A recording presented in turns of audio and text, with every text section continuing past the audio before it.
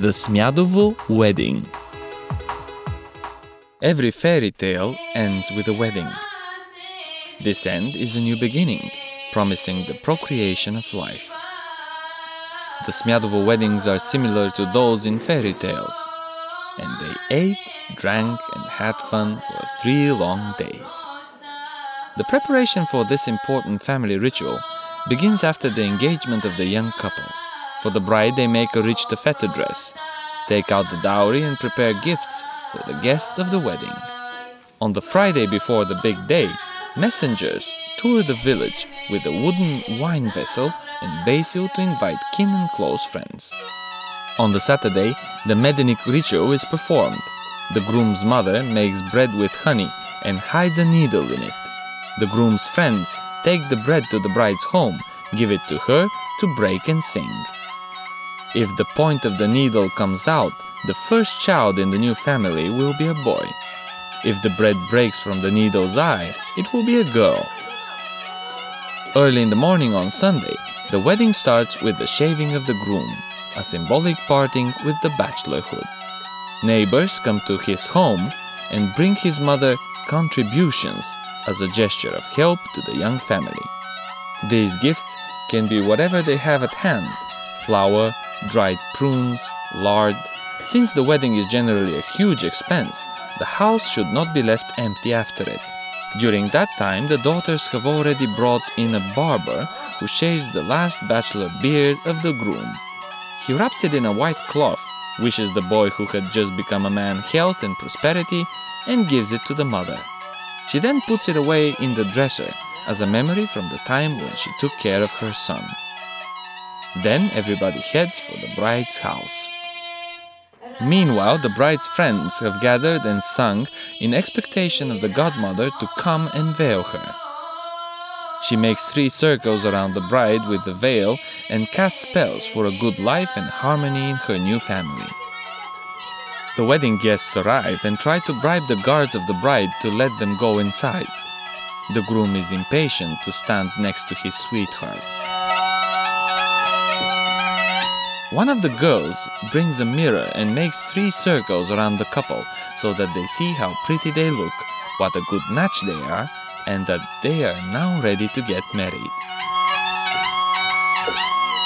The bride's mother, however, must be convinced that her daughter will have proper support, so she throws a piece of white linen around the groom's shoulders and pulls to see whether he is strong enough to drag the family yoke.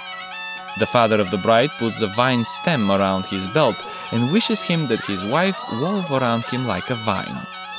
Finally, the mother brings the nishtelka from the loom and wishes the new family as many years of martial life as the threads of the nishtelka.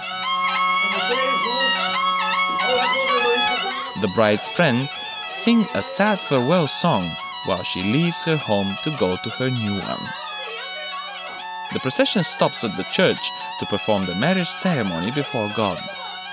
Then the rooster man buys the wedding rooster and the holly of the bride's girlfriends. Those are the symbols of the male and female which were used to decorate the bride's home the previous day. A piper plays Rachenica while everybody dances in joy to celebrate the commitment of two people who have joined forces to share the good and the bad in life. The three apples and the popcorn which adorn the holly are a promise of fertility and many children in the family. In the late afternoon, the wedding proceeds to the groom's house. His mother and father are waiting impatiently in the yard, holding flowers and candles. The yard is covered by a white cloth resembling a path, which welcomes the new helper in the house. But the guests are not ready to let the couple go yet. They wait for the ritual of giving. The groom's father gives his son an axe to cut wood for the family. Then he gives fields and stock to the young to have some subsistence. The mother of the groom, in return, presents her daughter in law with a sweep and a dustpan to keep the house clean.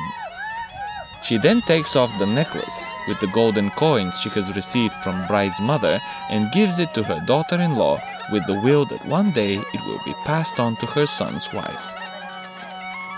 Before the beginning of the actual celebration, the groom's brothers carry the bride's little sister, the Svatichka, inside.